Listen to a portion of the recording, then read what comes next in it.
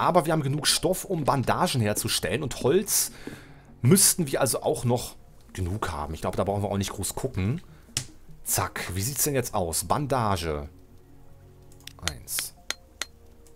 Achso, Moment, wir haben genug. Moment, wir haben ja schon genug. Wir haben ja genug. Wie war denn das jetzt? Beinschiene. Viermal Bandage, wir haben sogar zwölf. Ich habe mich eben verguckt. Ja, ich wusste nicht, dass da vier Bandagen bei rauskommen. Sorry, habe ich nicht gesehen. Beinschiene.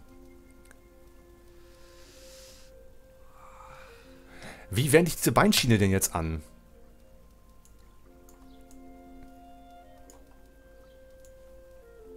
Kann ich die irgendwie... Wie wende ich denn die jetzt an? Ah, okay.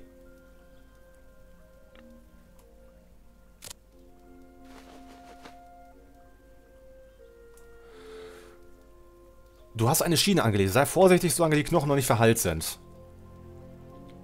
Okay, also wir haben jetzt eine Beinschiene und dann stelle ich erstmal den Webstuhl. Jetzt muss ich doch eben nochmal austesten hier. Entferne Webstuhl. Den stellen wir jetzt einfach mal hier hin. Ja, direkt ans Fenster, also ans... Am besten dahin, wo wir sowieso keine Schränke hinstellen können. Also am besten kann man die immer an die Fenster stellen. Da möchte ich hier jetzt nicht hinstellen, da auch nicht. Aber hier in die Ecke, direkt am Fenster, auch wenn es jetzt in der Nähe der Tür ist, ist mir jetzt im Moment egal.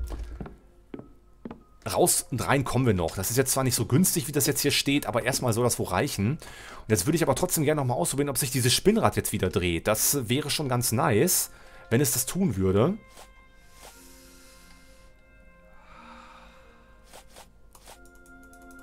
Es dreht sich nicht. Wieso dreht sich denn dieses Spinnrad jetzt nicht mehr? Aber dass unser Knochen jetzt verbunden ist, das ist doch schon mal viel wert.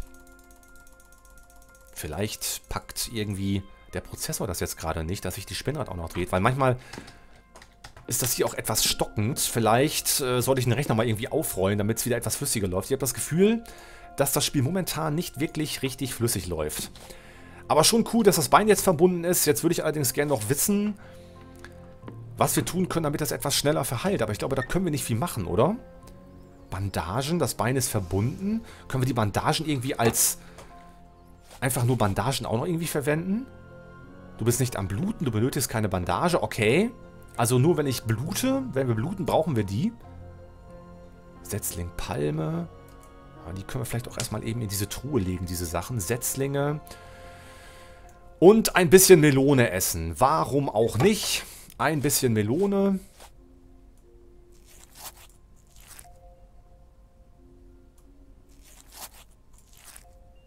Äh, okay, die sättigt nicht.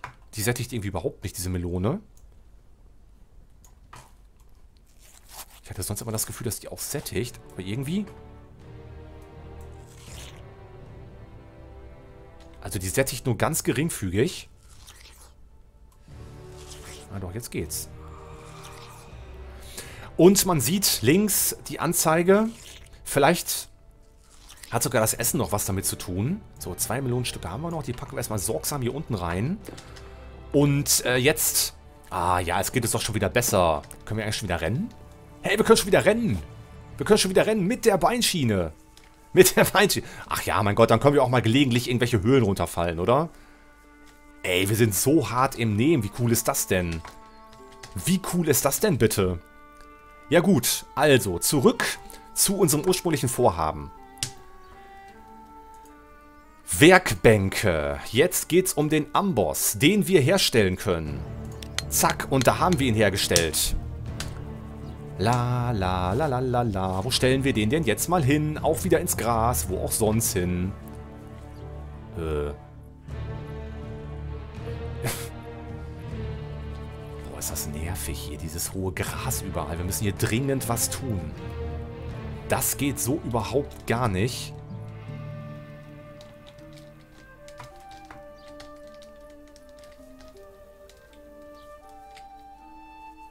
Es gibt hier keine vernünftige Stelle. Vielleicht direkt am Wasser.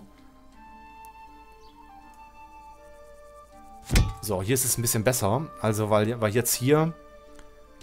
Was können wir jetzt überhaupt machen? Eisenbarren. Kupferplatte, Silberplatte, Goldplatte, Eisenstab, Kupferstab. Was brauchen wir denn jetzt eigentlich? Aluminium. Wir brauchen doch für Werkzeuge...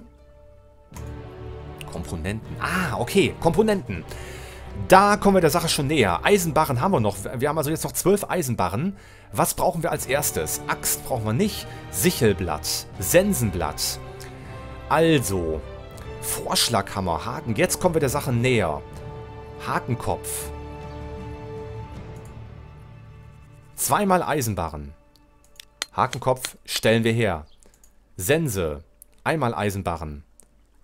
Herstellen. Wir wollen jetzt eine Sichel haben. Wir wollen eine Sense haben. Hake haben wir. Vorschlaghammer. Zweimal Eisenbarren. Ey, ich stelle jetzt hier... Wir stellen jetzt hier alle Köpfe her. Das ist mir jetzt egal. Haken... Haken... Haken. Hackenblatt. Schwertklinge. Streitaxt. Also... Die ist so nice. Ja. Morgensternstachel. Ähm. Boah! Morgenstern. Damit können wir ja die Raubtiere kurz und klein häckseln. Was sehen wir denn jetzt? Sargmesser, Eisenstab. Wir haben nur... Komm, das Jagdmesser machen wir später. Wir nehmen jetzt Morgensternstachel. So, jetzt haben wir alles Eisen, was wir... Also alle Eisenbarren. Huch aus Versehen F2 gedrückt. Okay. Mal eben gerade gucken. Werkzeuge, Werkzeuge. Jetzt wird das langsam richtig interessant, was wir hier durch... Spitzhackenkopf, den haben wir nicht. Sichel, ein Stock, ein Sichelblatt. Also, Sichel herstellen. Nudelholz brauchen wir nicht. Sense, ein Sensenblatt. Viermal Stock. Hake, Hake herstellen, Vorschlaghammer herstellen, Hacke herstellen. Und damit haben wir alle die Dinge hergestellt, die wir herstellen wollten. Und äh, was liegt näher, als die jetzt auszuprobieren?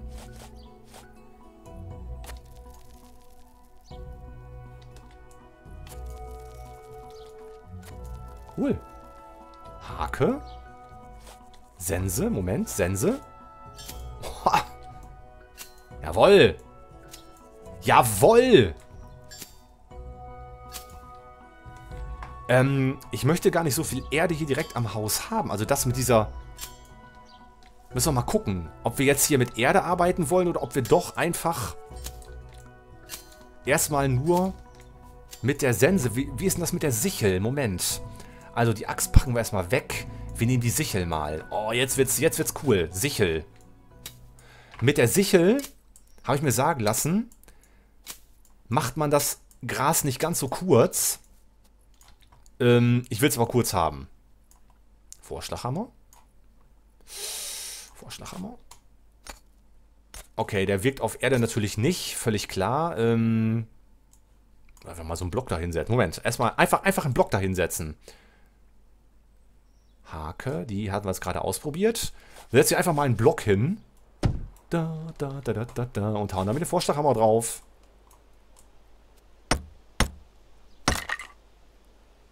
Ja. Das bestätigt den Kommentar, den ich bekommen habe mit dem Vorschlaghammer. Wenn ich Dinge, wenn wir Dinge mit dem Vorschlaghammer abbauen, dann bleiben diese Dinge erhalten.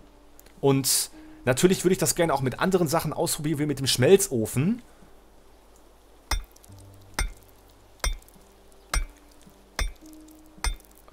Nicht. Oder passiert da jetzt nichts? Also, ich gehe jetzt hier...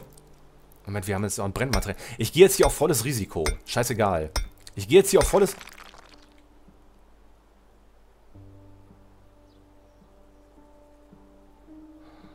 Ähm... Okay. Wenn man risikofreudig ist, muss man auch die Konsequenzen tragen. Wir haben jetzt gerade den Schmelzofen kaputt gemacht. Wo auch noch jede Menge Brennmaterial drin war.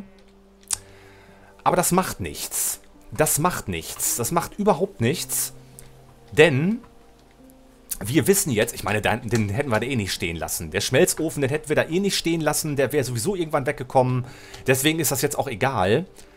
Aber was wir jetzt, was wir auf jeden Fall machen können, ist, dass wir jetzt erstmal hier das Gras rund um unsere Werkzeug und rund um unsere Werkbänke erstmal wegmachen. Dass wir jetzt eine Fläche haben, auf der wir arbeiten können. Wunderbar. Und wir kommen auch unter die Tische, unter die Werkbänke. Das geht alles hervorragend.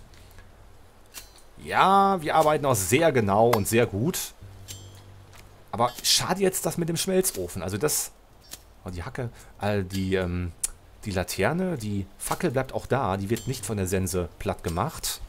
Also die senzt sich hier praktisch um die Gegenstände herum. Oh, das ist doch schön. Ja, so will ich das haben. So wollen wir das haben. Oder nicht? Ist das nicht gut? Ich finde das, find das, find das voll gut jetzt. Irgendwie gerade. Legen wir uns hin. Unser Bein verheilt. Weiter. Und der Schlaf wird sein Übriges tun. Ich glaube, wenn wir noch schlafen, geht es uns nachher noch schneller, noch besser. Irgendwie ist das blöd mit dieser Tür, dass sie immer auf diese Richtung aufgeht. Aber ich habe jetzt gerade keinen Bock, das zu verändern. Das bleibt jetzt einfach mal so. Lass uns einfach mal so ein bisschen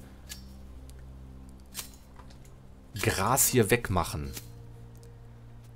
So, dann war noch, ich erinnere mich noch an einen Kommentar, dass wenn wir hier an Setzlinge kommen oder irgendwelche bestimmten Pflanzen, die kann man dann auch, wir haben also einige Pflanzen hier, wir sind auf einige Pflanzen gestoßen, die wir nicht abernten konnten. Ähm, und Grashalme, okay.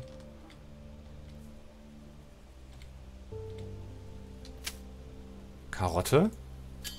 Jetzt sieht man natürlich auch mehr. Also ich würde sagen, wir machen jetzt mal... Wir können, wir könnten jetzt auch sofort mit der Hake hier arbeiten. Aber ich möchte, ich möchte mir erstmal den Boden hier angucken, wie uneben der eigentlich ist. So, das geht jetzt irgendwie nicht weg. Doch. Ich möchte mir erstmal den Boden hier angucken. Wir sollten uns erstmal den Boden angucken, wie uneben ist das Ganze hier eigentlich. Können wir da jetzt vielleicht schon Ackerbau drauf betreiben, die ersten zarten Pflänzchen vielleicht setzen oder so, weil das müssen wir auf Dauer einfach machen, wenn wir hier nicht verhungern wollen. Aber ich glaube, das kriegen wir auch hin. So. Aber wir haben jetzt hier schon... Nice, nice, nice, nice, nice. Moment. Ähm... Mit der Hake können wir den Boden... Eben, ich probiere mal die Spitzhacke aus. Moment, Spitzhacke? Das ist nicht so nice.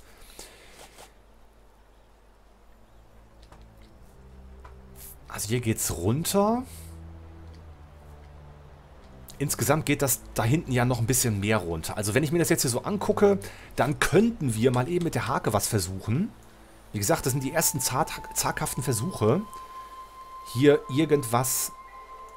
Moment, was machen wir also? Die Hake, den Vorschlaghammer packen wir erstmal weg. Wir haben ja auch noch die Hacke. Was läuft hier eigentlich mit der Hacke? Die haben wir noch gar nicht ausprobiert, oder? Ah, okay. Mit der Hacke kultivieren wir praktisch den Boden und mit der Hake ebnen wir ihn ein, richtig? War das so?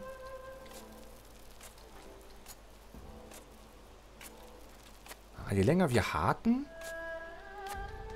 Okay, also warte mal, ich... Eben mal ganz kurz ausprobieren. Ja, okay. Also je länger wir haken, desto mehr geht das hier runter. Was es ja auch im Grunde genommen soll, denn wie schon angedeutet, der Boden vor uns, wo jetzt auch teilweise noch das wilde Gras wächst, der ist ja tiefer. Und wir müssen ja gucken, dass wir zumindest ansatzweise hier auf eine Ebene kommen. Aber im Moment sieht das gar nicht so schlecht aus, glaube ich. Ich glaube, da sind wir ganz gut unterwegs im Moment.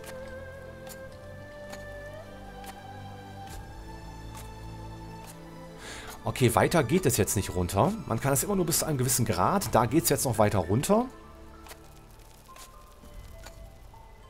Also das Coole ist, dass das wirklich, wirklich realistisch gehalten ist. Ich meine, ich, als Kind habe ich so aus Spaß so meinen eigenen Garten gehabt. Also unsere Eltern haben ein großes Haus und, und ähm, wir hatten also auch einen großen Garten oder haben einen großen Garten vielmehr. Ich wohne jetzt zwar nicht mehr zu Hause, aber diesen großen Garten gibt es heute immer noch.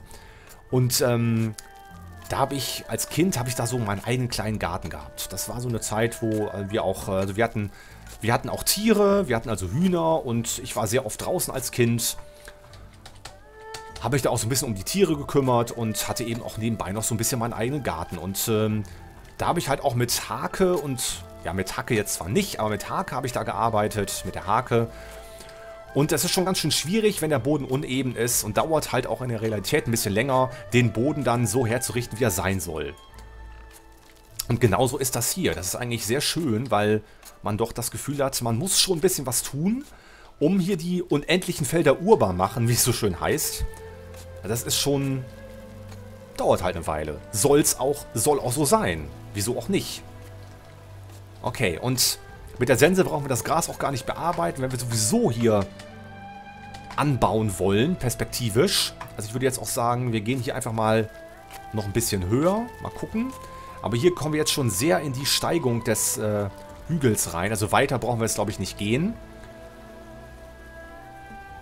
Das lassen wir, das Gras lassen wir stehen. Dann versuchen wir hier mit der Sense mal noch so ein bisschen um unser Haus herum zu gehen, dass das auch von Gras befreit wird. Ich habe auch gelesen, dass das Gras mit der Sichel, was gar nicht, hatte ich das eben schon erwähnt, wenn man das Gras mit der Sichel bearbeitet, dann ist es zwar nicht ganz so kurz, aber dann wächst es halt auch nach. Das passiert bei der Sense, zumindest habe ich das gelesen, in einem Kommentar oder auch in irgendeinem Tutorial, keine Ahnung, wächst das Gras mit der Sense bearbeitet halt auch nicht nach.